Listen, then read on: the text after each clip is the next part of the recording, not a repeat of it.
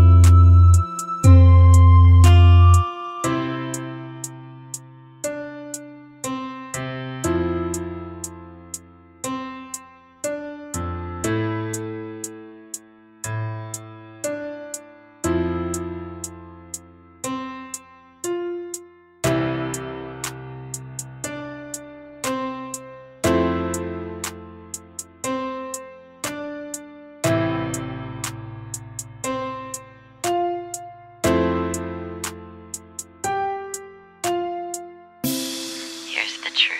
So now you can hate me.